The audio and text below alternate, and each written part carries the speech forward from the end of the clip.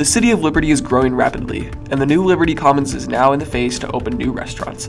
Here are just a few that are now open. First off, Slim Chickens.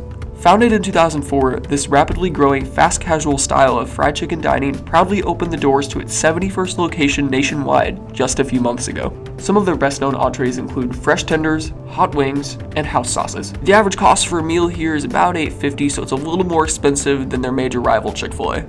Moving on down the road is Meshuggah Bagels.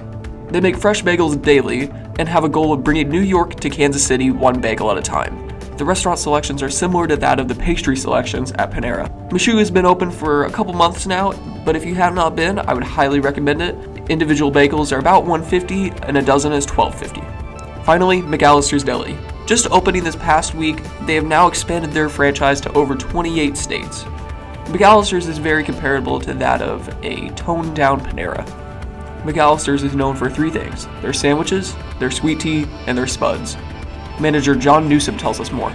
Well, we are a deli, um, but we're just a little bit more than that. So we have sandwiches, of course, hot sandwiches, cold sandwiches, pressed sandwiches. Uh, we also offer uh, numerous salads, uh, baked potatoes, and uh, lots of hot soup. The Liberty Commons is a rapidly growing area just outside the reach of our high school. If you have some extra cash, I'd highly recommend you go grab yourself a meal. For KLHS, this has been Mitchell Neff.